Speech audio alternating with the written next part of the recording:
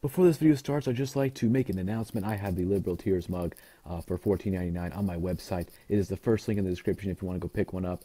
Um, don't worry if it breaks when it comes to your house. I'll send you another one for free out of my pocket. I don't care. I want you to get your Liberal Tear mug. Uh, it comes in uh, Liberal Tears white with the face, black with the face, white without the face, and black without the face. So pick whichever one you want, and it'll come to your door uh, in about three to five days. So that should be epic. First link in the description.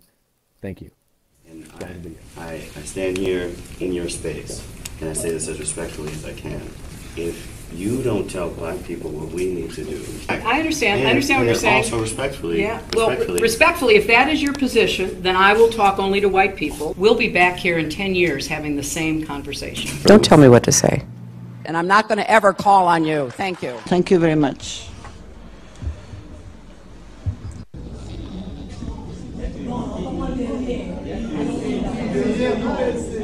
Wait, you want me to tell you what my husband thinks? My husband is not the Secretary of State, I am. So you ask my opinion, I will tell you my opinion. I'm not going to be channeling my husband. I suppose I could have stayed home and baked cookies and had teas, but I, what I decided to do was to fulfill my profession, which I entered before my husband was in public life.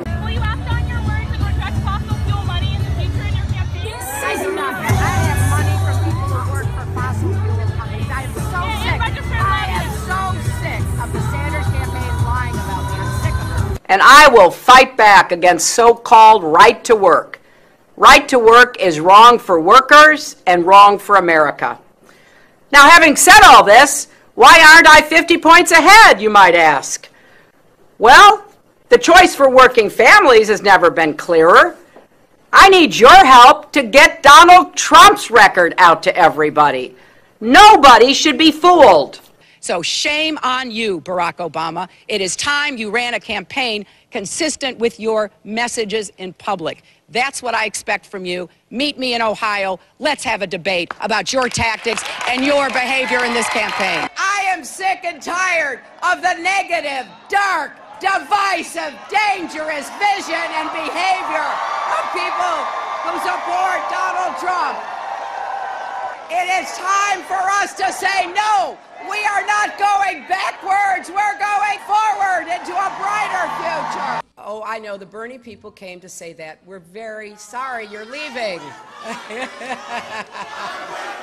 what difference at this point does it make? Because we're going to put a lot of coal miners and coal companies out of business. Right, Tim? Now, you you are you are you are entitled to your opinion, but you're not entitled to your own facts.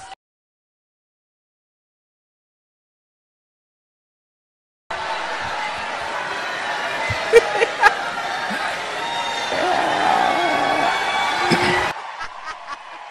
know, I, I, I do hope somebody follows that gentleman out and stages an intervention. Well, first of all, stage an intervention. They are not just gangs of kids anymore. They are often the kinds of kids that are called super predators. No conscience, no empathy. We can talk about why they ended up that way, but first we have to bring them to heel. And like many across our country and around the world, I believe the person the Republicans have nominated for president cannot do the job.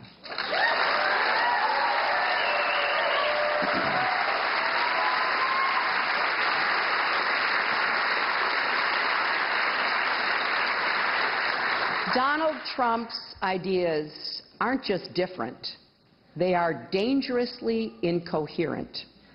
They're not even really ideas, just a series of bizarre rants, personal feuds, and outright lies.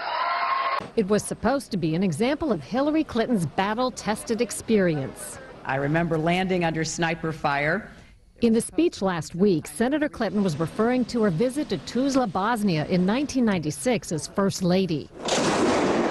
The brutal war was over, but hostilities continued. And though the trip was exactly 12 years ago tomorrow, the memory seemed etched in Clinton's mind.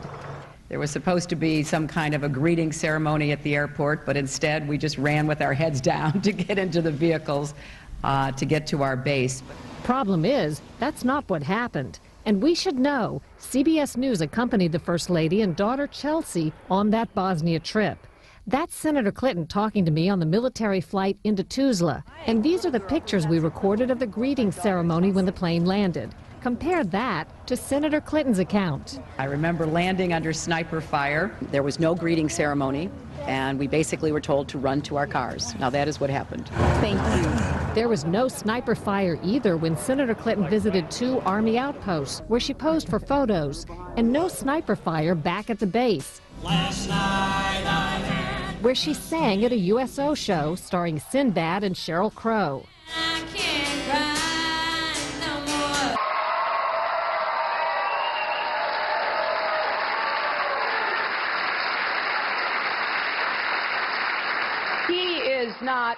Just unprepared, he is temperamentally unfit to hold an office that requires knowledge, stability, and immense responsibility.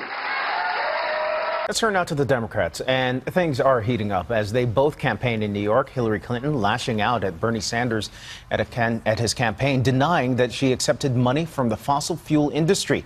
Clinton was visibly angry as she was questioned by a Greenpeace activist.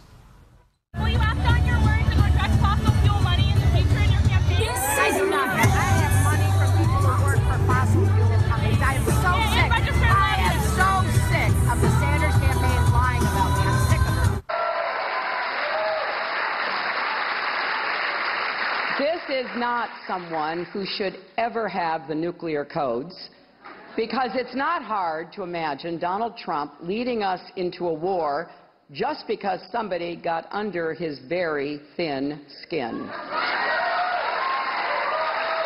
We've all heard about the Chinese contracts in this country.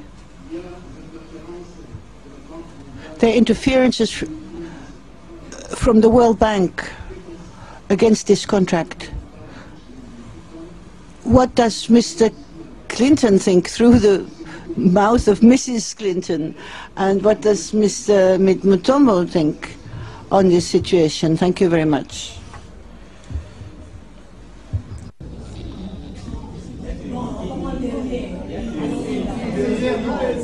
Wait, you want me to tell you what my husband thinks? My husband is not the Secretary of State, I am. So you ask my opinion, I will tell you my opinion. I'm not going to be channeling my husband. He believes we can treat the U.S. economy like one of his casinos and default on our debts to the rest of the world, which would cause an economic catastrophe far worse than anything we experienced in 2008. Reportedly, they can charge hundreds of thousands of dollars for speeches. It has been reported you've made five million making speeches. The president's made more than a hundred million dollars. Well, if if you you have no reason to remember, but we came out of the White House not only dead broke but in debt. Uh, we had no money when we got there, and we struggled to, you know, piece together the resources for mortgages for houses, for Chelsea's education. You know, it was not easy. And a shattering defeat. It was personally painful, a sense of real loss and disappointment. Well, this isn't exactly the party I planned, but I. My mother's crying, and my husband's looking very sad, and my daughter's looking very sad. Although we weren't able to shatter that highest, hardest glass ceiling this time, thanks to you, it's got about 18 million cracks in it. And I did feel like I had let people down. Honestly, a lot of women and girls who had invested their uh, their hopes in me, but men and boys as well with each other. I don't think we ever felt that way about each other. Oh, yes, you no, did. we, we no, not really, Diane. Hillary, you I just did not, spoke- I did not say anything about minutes. Ronald Reagan. You said two ju- things. You, just talked spoke- about admiring Hillary, Ronald Reagan, sorry, and you talked about you- the you just ideas of the Republicans. I didn't talk about Ronald Reagan. What can you say to the voters who seem to like Barack Obama more? Well, that hurts my feelings. You're likable enough. Thank you so much. doubt. He says he doesn't have to listen to our generals or admirals, our ambassadors, and other high officials because he has, quote, a very good brain. In every way, and I was very proud of him. vice presidential? Did you talk about vice presidential possibilities with Senator Warren? You guys have got to try the cold chai. I've had it. And how, how was she with Senator Warren? Did you talk about vice presidential possibilities with Senator Warren? You guys have got to try the cold chai. I've had it. He also said, I know more about ISIS than the generals do. Believe me. You know what? I don't believe him. About two. Cycling about two.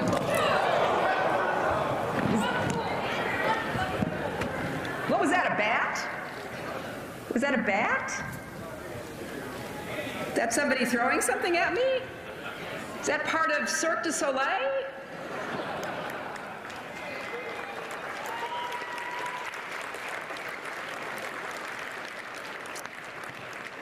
My goodness, I didn't know solid waste management was so controversial. So uh, you, have to say there, well, she handled this um, pretty well, and we don't know why this happened. Uh, a little bit about what we are learning. According to the Las Vegas Review Journal, the woman there who you see walking away with the blonde hair, she said that it was a shoe. We don't know who she is. Uh, we understand from a spokesman for the group before which Clinton was speaking uh, that it's not clear what she was protesting, though she was referred to as a protester.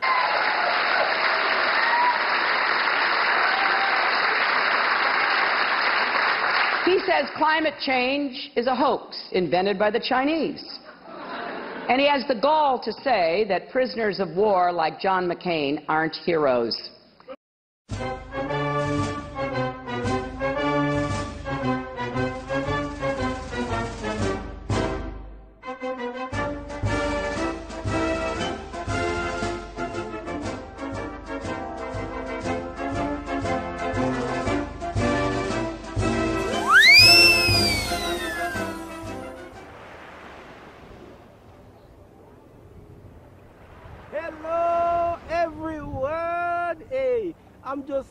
By to remind you that liberals are insane. Social justice warriors are becoming more violent and triggered than ever before. Anyways, be sure to subscribe to KGP TV on YouTube and have a blessed day. Yeah, man.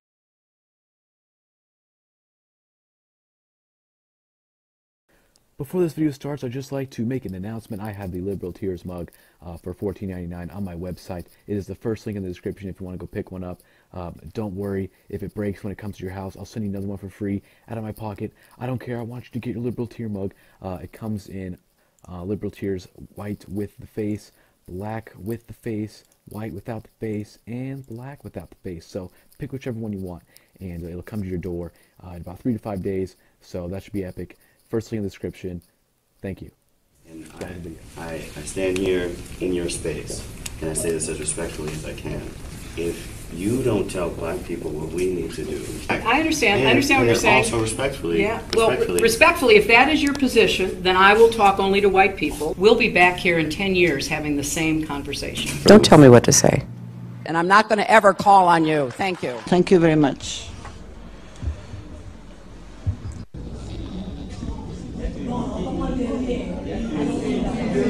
Wait, you want me to tell you what my husband thinks? My husband is not the Secretary of State, I am. So you ask my opinion, I will tell you my opinion. I'm not going to be channeling my husband. I suppose I could have stayed home and baked cookies and had teas, but I, what I decided to do was to fulfill my profession, which I entered before my husband was in public life.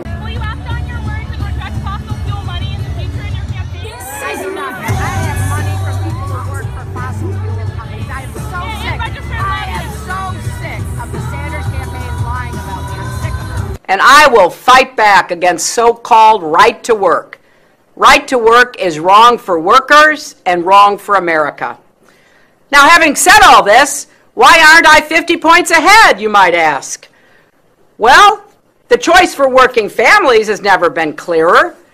I need your help to get Donald Trump's record out to everybody. Nobody should be fooled. So shame on you, Barack Obama. It is time you ran a campaign consistent with your messages in public. That's what I expect from you. Meet me in Ohio. Let's have a debate about your tactics and your behavior in this campaign. I am sick and tired of the negative, dark, divisive, dangerous vision and behavior of people who support Donald Trump. It is time for us to say no. We are not going backwards. We're going forward into a brighter future. Oh, I know the Bernie people came to say that. We're very sorry you're leaving. what difference at this point does it make? Because we're going to put a lot of coal miners and coal companies out of business. Right, Tim? Now, you you are you are you are entitled to your opinion, but you're not entitled to your own facts. you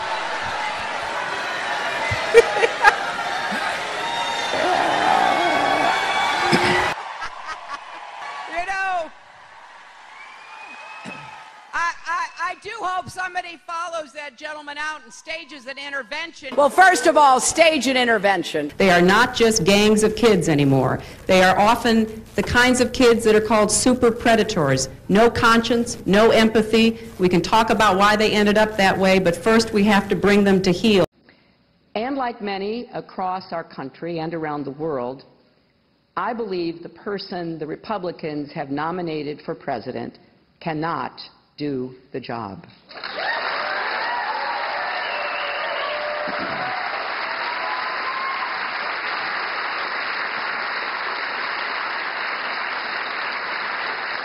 Donald Trump's ideas aren't just different, they are dangerously incoherent. They're not even really ideas, just a series of bizarre rants, personal feuds, and outright lies. It was supposed to be an example of Hillary Clinton's battle tested experience. I remember landing under sniper fire. In the speech last week, Senator Clinton was referring to her visit to Tuzla, Bosnia in 1996 as First Lady. The brutal war was over, but hostilities continued. And though the trip was exactly 12 years ago tomorrow, the memory seemed etched in Clinton's mind. There was supposed to be some kind of a greeting ceremony at the airport, but instead we just ran with our heads down to get into the vehicles uh, to get to our base. Problem is, that's not what happened. And we should know CBS News accompanied the First Lady and daughter Chelsea on that Bosnia trip. That's Senator Clinton talking to me on the military flight into Tuzla. And these are the pictures we recorded of the greeting ceremony when the plane landed. Compare that to Senator Clinton's account. I remember landing under sniper fire. There was no greeting ceremony, and we basically were told to run to our cars. Now, that is what happened. Thank you. There was no sniper fire either when Senator Clinton visited two Army outposts where she posed for photos, and no sniper fire back at the base. Last night Where she sang at a USO show starring Sinbad and Sheryl Crow.